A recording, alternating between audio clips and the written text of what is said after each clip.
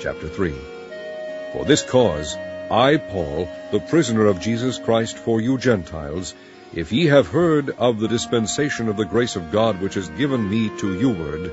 how that by revelation he made known unto me the mystery, as I wrote afore in few words, whereby when ye read ye may understand my knowledge in the mystery of Christ,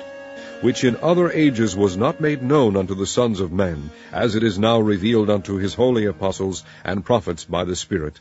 that the Gentiles should be fellow heirs, and of the same body, and partakers of his promise in Christ by the gospel, whereof I was made a minister, according to the gift of the grace of God given unto me by the effectual working of his power. Unto me, who am less than the least of all saints, is this grace given, that I should preach among the Gentiles the unsearchable riches of Christ,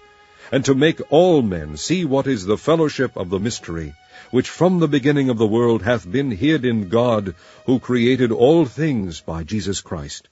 to the intent that now unto the principalities and powers in heavenly places might be known by the church the manifold wisdom of God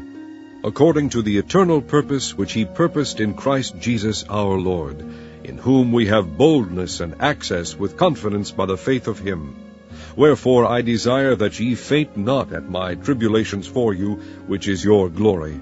For this cause I bow my knees unto the Father of our Lord Jesus Christ, of whom the whole family in heaven and earth is named, that he would grant you, according to the riches of his glory, to be strengthened with might by his Spirit in the inner man that Christ may dwell in your hearts by faith, that ye, being rooted and grounded in love, may be able to comprehend with all saints what is the breadth, and length, and depth, and height, and to know the love of Christ, which passeth knowledge, that ye might be filled with all the fullness of God.